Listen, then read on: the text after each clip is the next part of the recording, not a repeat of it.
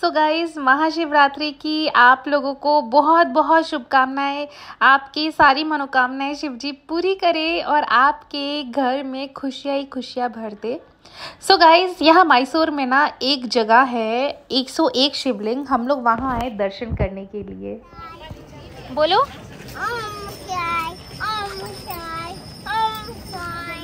हाथ जोड़ के बोल दो।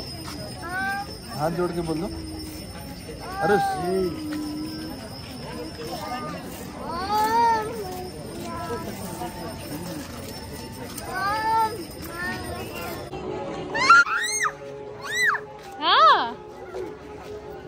यहाँ पे बहुत ही लंबा लाइन लगा हुआ है और ये ठीक जेएसएस हॉस्पिटल मैसूर के पास में एक जगह है तो वहाँ पे ना जाते ही हमें ओम नमः शिवाय।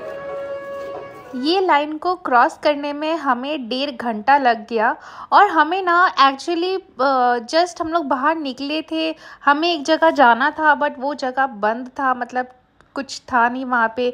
फिर हमें पता चला कि ऐसा भी कोई जगह है जहाँ पे हम जा सकते हैं। 101 मंदिर है मतलब 101 शिवलिंग है और ये जो जगह है ना, ये सिर्फ़ आज के दिन ही ओपन होता है। पूरे एक साल में एक ही दिन इसका डोर ओपन होता है। इसीलिए यहाँ पे इतना ज़्यादा लाइन है। और मुझे इनके बारे में डिटेल में नहीं पता, बट हाँ शिव जी है और इतने यूनिक जगह पे उन्होंने मुझे बुलाया है। तो वो कहते हैं ना कि, भगवान जी चुनते हैं कि मेरे भक्त कौन बनेंगे हर कोई जो है ना वो मतलब प्रॉपर भक्त नहीं बन सकता भगवान का।